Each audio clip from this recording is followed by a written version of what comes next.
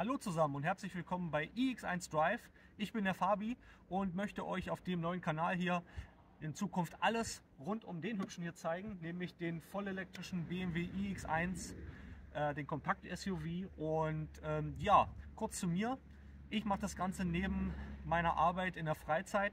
Das heißt, ähm, ich mache es wirklich nur als Hobby. Ich habe auch noch nie YouTube-Videos gemacht, deswegen bitte ich euch, die Qualität, die es jetzt vielleicht am Anfang hier erstmal gibt, zu entschuldigen. Das heißt, es wird vom Ton her vielleicht nicht ganz so gut sein und auch von den Videoaufnahmen. Ich mache das alles, bringe mir das alles selbst bei und ähm, schaue einfach, dass wir es natürlich auch wieder ein bisschen noch besser machen.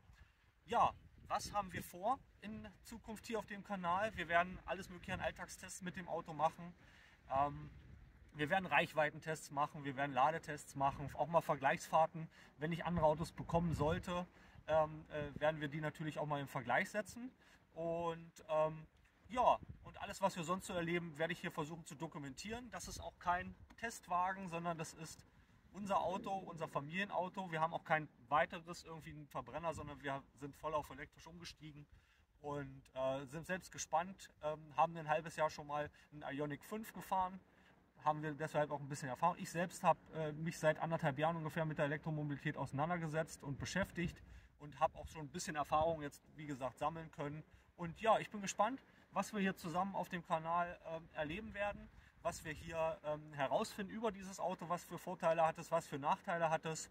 Ja, und bevor wir lang quatschen, würde ich sagen, heute machen wir erstmal eine erste Verbrauchsfahrt. Ja, und alles weitere sehen wir dann, wenn wir uns im Innenraum. So, da sind wir wieder. Jetzt im Innenraum, hier im BMW iX1. Wir wollen heute einen Verbrauchstest machen, habe ich gesagt. Also einmal eine Verbrauchsrunde. Ich habe mir das überlegt. Das sind so knapp 50 Kilometer. Da fahren wir Bundesstraße. Wir fahren ein bisschen durch die Stadt, fahren dann auf die Autobahn, nochmal ein bisschen städtisch, dann nochmal auf die Bundesstraße und durch den Ort. Das heißt, es ist wirklich ein guter Mix der das so repräsentieren kann, ähm, ganz normale tägliche Fahrten. Ähm, und diese Runde werden wir auch ganz wichtig immer fahren, wenn wir Vergleichsfahrten machen, wenn wir mal Verbrauchstests bei anderen Temperaturen machen, wenn wir immer diese Runde fahren. Ja, und äh, wir starten das Ganze mal ähm, und müssen dazu natürlich dann erstmal den Verbrauch einmal zurücksetzen. Das machen wir jetzt hier, setzen den Verbrauch, den Individualverbrauch auf Null. Ja, und dann sind wir gespannt. Ich erzähle euch unterwegs ein bisschen was zu dem Auto. Wir haben heute ganz wichtig noch 8 Grad draußen. Das heißt, äh, es ist noch doch ziemlich kalt und ich bin selbst mal gespannt, was wir dann hier für einen Verbrauch erzielen. Ja, BMW iX1, was gibt es dazu zunächst zu erzählen? Ähm, ist jetzt im äh, November auf den Markt gekommen, war Verkaufsstart war im Oktober. Wir haben auch gleich einen bestellt, deswegen konnten wir jetzt auch so schnell den bekommen. Ähm, da sind wir sehr dankbar dafür.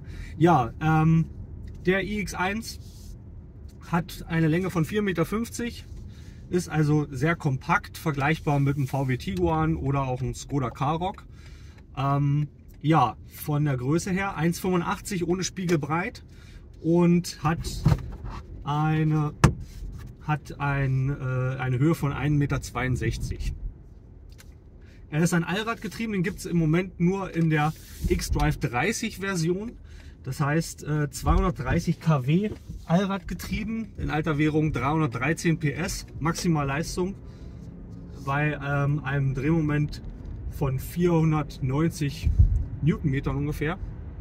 Das heißt, er geht schon gut im, äh, im Modus, im Sportmodus. Vor allen Dingen, da hängt er wirklich gut am Gas, was ich jetzt sehen konnte.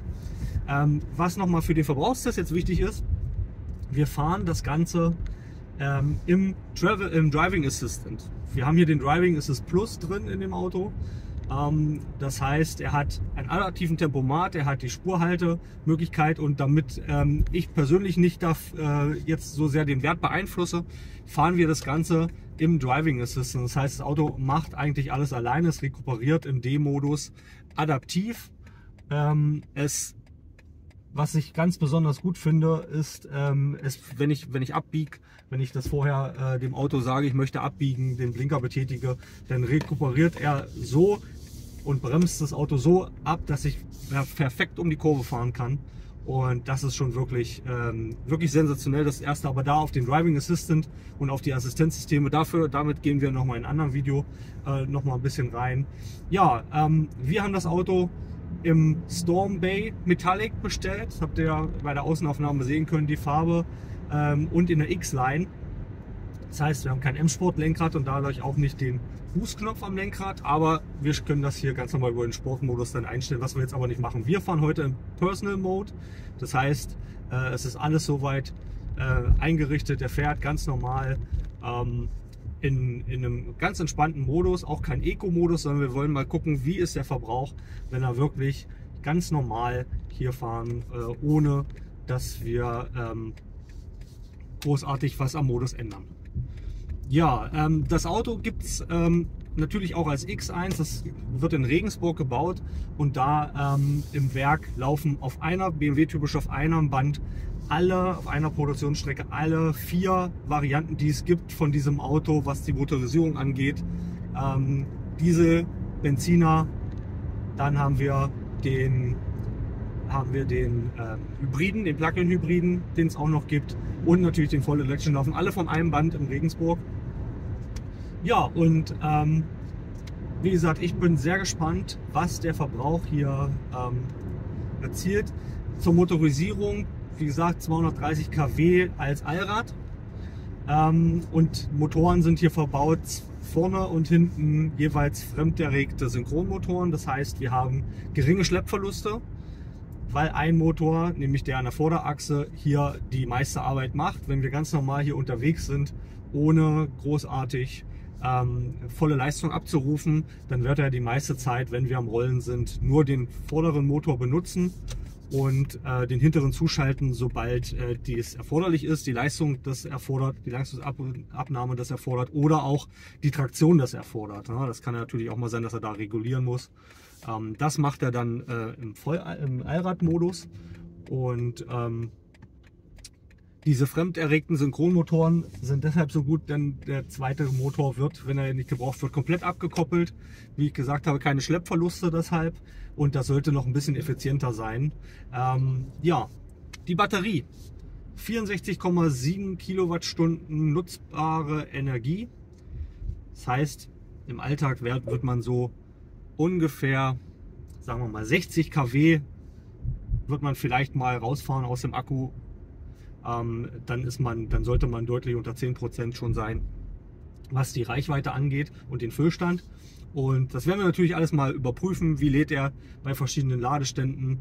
Das werden wir alles zukünftig machen. Heute, wie gesagt, geht es auf die Verbrauchsrunde. Wir sind jetzt aus der ersten Ortschaft raus und ähm, schauen jetzt mal auf der Bundesstraße. Wie gesagt, der fährt ganz normal alleine im Driving Assistant brauche hier eigentlich nichts machen, kann den Fuß habe ich weg vom ähm, Strompedal, brauche auch eigentlich die Bremse nicht betätigen, das macht er alles selbst. Wir fahren jetzt hier auf der Landstraße mit 100 km/h, das ist jetzt der Abschnitt, wo wir mal 100 fahren können. Auf der, Land auf der Autobahn ganz wichtig, werden wir immer 130 ungefähr fahren.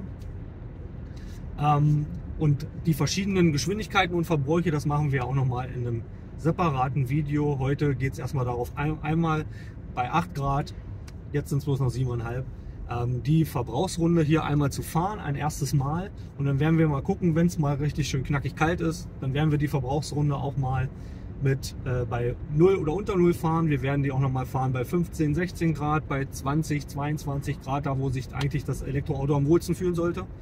Und wir werden auch noch mal den Verbrauch testen, natürlich im Sommer, wenn es richtig schön heiß ist. Ja, was gibt es sonst noch? Innenausstattung seht ihr hier haben wir eine helle Innenausstattung gewählt, weil das Auto doch so recht dunkel ist. Ähm, von außen und auch ähm, hier vorne alles dunkel ist, ist alles unterschäumt. Hier ist es eine, wirkt wie Leder. Auf jeden Fall ist es Leder, ist aber kein Leder, sondern es ist ähm, ähm äh, Lederersatz sozusagen. Ja,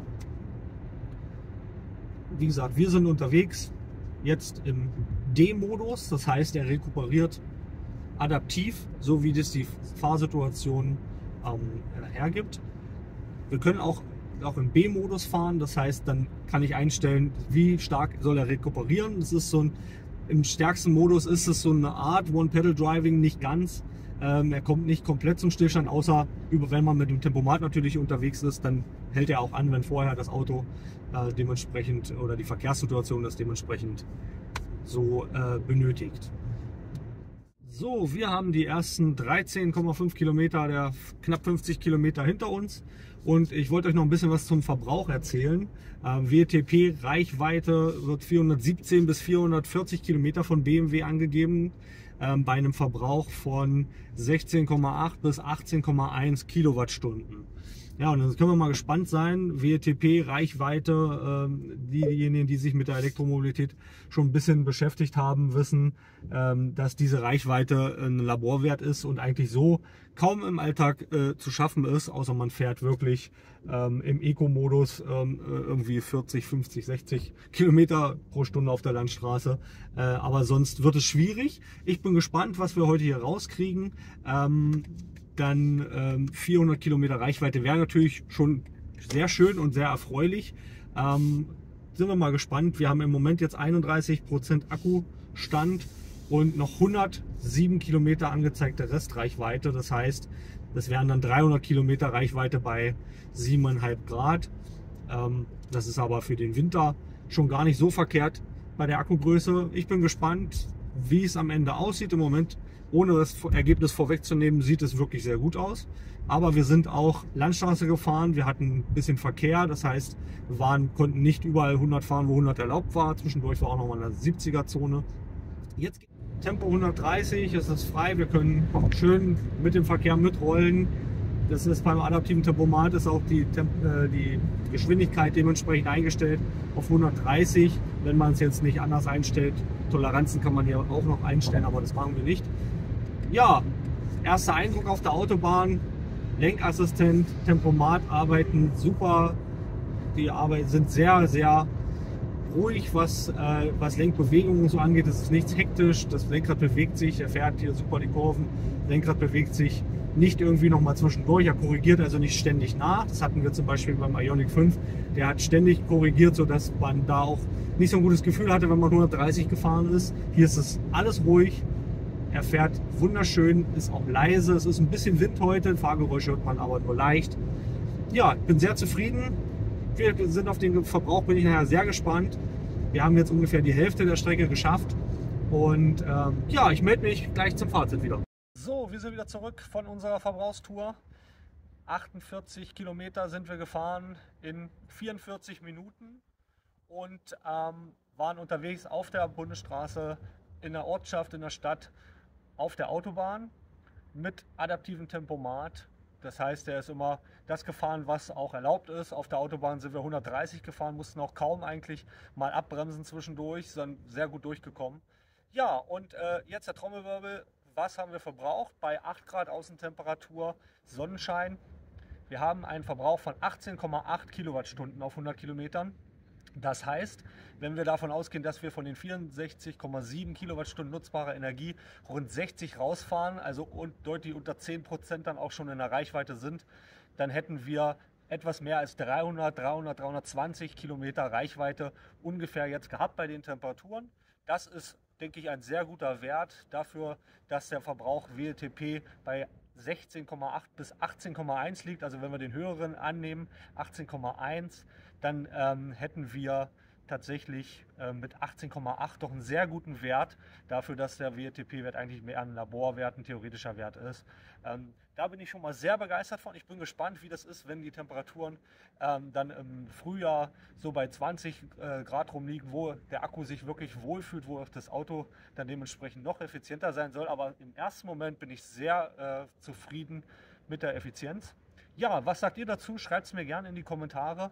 Wenn ihr keine Videos verpassen wollt, wie habe ich euch ja gesagt, wir haben noch vier vor hier auf dem Kanal, dann ähm, abonniert gerne den Kanal, aktiviert die Glocke, dass ihr keine Videos mehr verpasst. Und wenn euch das Video gefallen hat, würde ich mich über ein Like freuen. Ja, und dann bleibt mir nichts weiter als erstmal vielen Dank fürs Zuschauen und zu sagen und ähm, wir sehen uns bald wieder. Ciao.